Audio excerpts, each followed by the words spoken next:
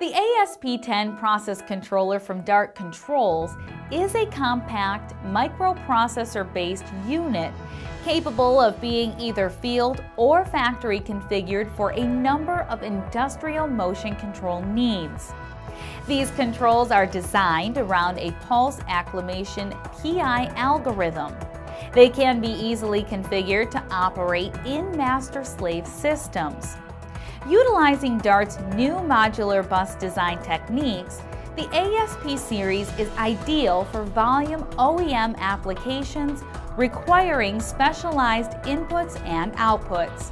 This flexibility makes the ASP series ideal for applications including water and waste treatment systems, conveyor oven controllers, synchronized conveyor lines, and more.